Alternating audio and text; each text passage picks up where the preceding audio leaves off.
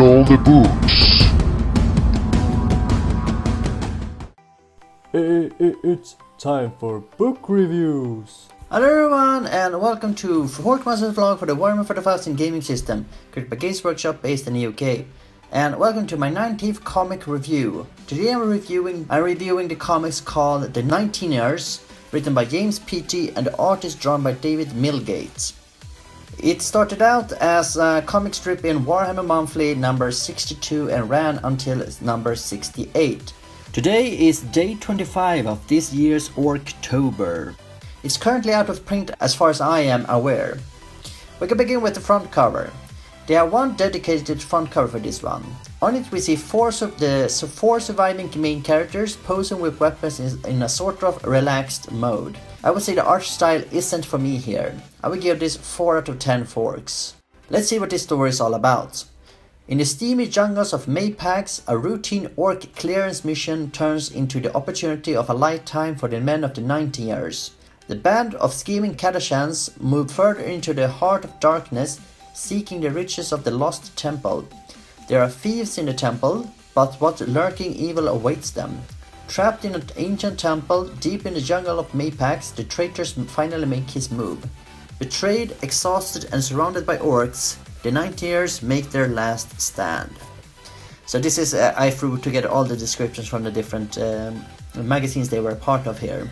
So this comic opens up with the Catachan 19th preparing their last stand against Orks. It then flashes back two weeks to show us how they ended up in this place. A wounded trooper stumbles in the camp and says that the temple contains an artifact on this planet. Vox operator Hilt suggests that they should divert from the senseless slaughtering and to take a look at this, which Captain Obdant says that they will not as it would dishonor their dead. Later on during a debriefing, he seems to have changed his mind as that something happened with the explorator team that was ambushed earlier when they were looking for something. Many of the men are, up for it as they are tired of doing menial tasks on a worthless planet. It quickly shifts over to, to the perspective of some tech priests that discusses that they have wanted to search this planet for a really long time, but the warp storm has it covered away for that time. The dialogue here is a bit cringy, and I would say uh, this is a problem with the medium as the, this information could have been delivered more naturally in written form and not in a comic where they have to speak it out loud. The trooper who delivered the message in the first place is then later on found dead, theoretically from an insect bite, but it looked more, much more like a needle puncture. Hilt then joins the group despite being with them only for a few months, making him very suspicious. A group of five Catachan troopers, one sentinel driver and an Ogryn walks out. One of them are killed by insects early on, devouring him to the bone until they can put him to the flame. 13 days they walk on straight and on the 14th day they come across an Ork camp. They let loose and open fire upon them, slaughtering the Xenos. Hilton comes out to reveal they have reached the hidden temple. Inside the temple they find the dead remains of the Mechanicus Explorator team. They find some more corpses, only they, these don't stay dead and starts approaching one of the troopers. Inside, small Nurglings jumps out.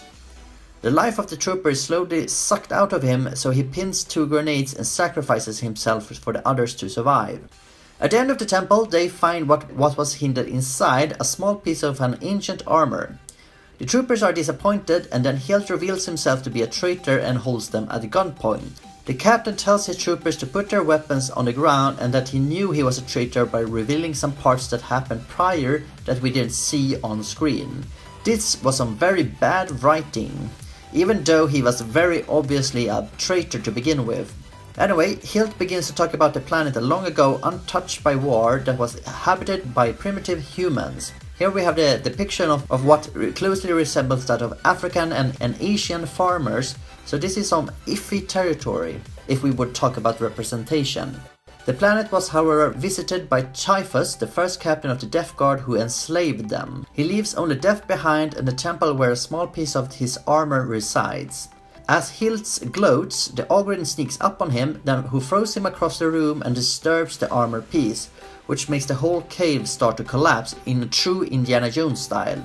Another of the troopers gets killed, but the rest makes it out, only to meet a bunch of Orks laying in an ambush. It is interrupted as a Valkyrie carrying cowboys of the Serikat 27th then come to rescue them and the fragment. Following the death of the Orks, Hilt tries to have them executed for treason, but instead is beaten up by the Ogryn, and it ends with them flying away. So what did I think about this comic? Well, so the story is quite interesting, at a Vietnam War inspired story with a hint of Kelly's Heroes, where a couple of troopers get a AWOL to find some treasure and many bites the dust along the way. I can't say the same for the characters as they are more or less rather empty shells with clone faces. I couldn't really pick out who was who outside of perhaps the captain and Hilt. The art style is rubbish and I'm not a fan of it, with the exception of Typhus which looks awesome. I think definitely it could have been a little more space to develop the characters so I would care about them more individually. I will give this comic a 5 out of 10 forks and that I will conclude this comic review. Thank you much for watching this comic review. See you around everybody. Bye bye.